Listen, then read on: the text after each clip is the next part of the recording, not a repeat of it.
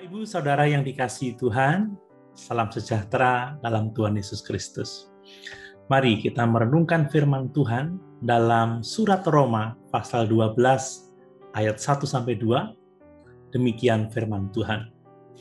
Karena itu saudara-saudara, demi kemurahan Allah aku menasihatkan kamu supaya kamu mempersembahkan tubuhmu sebagai persembahan yang hidup, yang kudus, dan yang berkenan kepada Allah itu adalah ibadahmu yang sejati.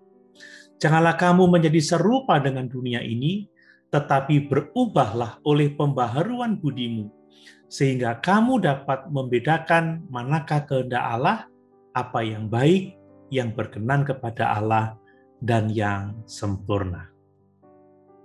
Dari nats ini kita menjumpai suatu perintah yang sangat jelas dan tegas jangan menjadi serupa dengan dunia ini. Apakah makna kata serupa bagi saudara dan saya? Biasanya kata ini tidak dipahami secara komprehensif sehingga kurang jelas kaitannya dengan kehidupan sehari-hari. Padahal kata ini sangat penting untuk dipahami dan diterapkan dalam kehidupan sehari-hari karena memainkan peran yang sangat penting dalam kehidupan. Masih banyak orang Kristen yang kehidupannya serupa dengan dunia daripada mereka hidup serupa dengan Kristus. Apa yang dimaksud dengan serupa atau keserupaan? Menjadi serupa berarti e, mencocokkan atau menyesuaikan diri dengan pola orang lain, menyesuaikan diri dengan ingin menjadi seperti orang lain. Kita ingin melakukan apa yang orang lain lakukan. Kita ingin mengatakan apa yang orang lain katakan. Kita ingin memakai apa yang orang lain pakai. Menjadi serupa berarti menerima ide-ide, menerima kebiasaan-kebiasaan, cara berjalan, cara berbicara, dan lain sebagainya yang sedang populer. Orang-orang dengan kecenderungan seperti ini disebut orang-orang yang kompromis. Kenapa kompromi? Sebab takut menjadi berbeda dengan orang lain. Merasa harus menjadi seperti orang lain. Perhatikan bagaimana masalah kompromis dalam lingkungan kita sangatlah besar. Terdapat tekanan untuk menjadi serupa dengan standar dari sebuah kelompok Orang dewasa pun merasa harus menjadi serupa dengan kelompoknya. Apalagi anak muda dalam hal pakaian, kendaraan, dan lain sebagainya. Tekanan yang lebih besar ada pada kalangan remaja. Kenapa? Sebab kebanyakan para remaja sedang mencari identitas. Tidak jarang mereka merasa rendah diri. Mereka ingin diterima dengan memenuhi standar kelompok. Demikian juga di kalangan para pengusaha.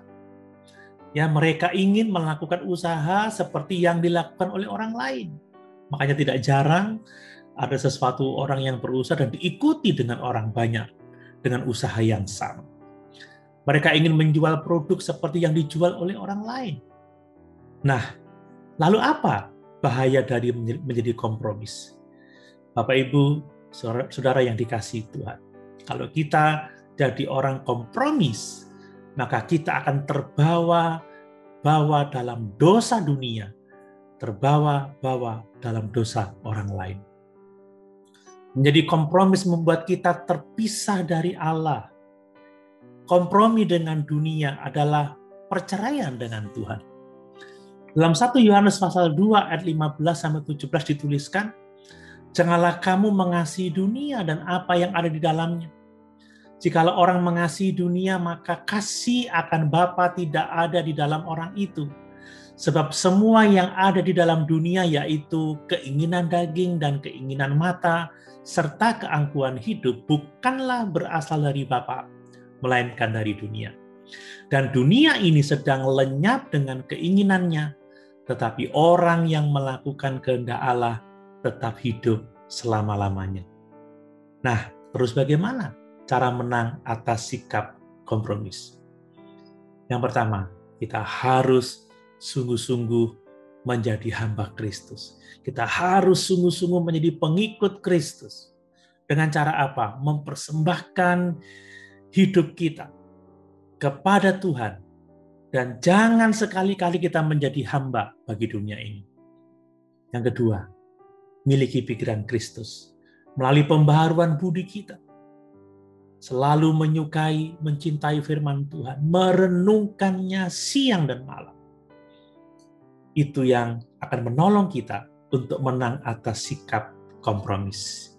Bapak Ibu, saudara yang dikasih Tuhan, kiranya kita menemukan diri kita serupa dengan Kristus. Haleluya.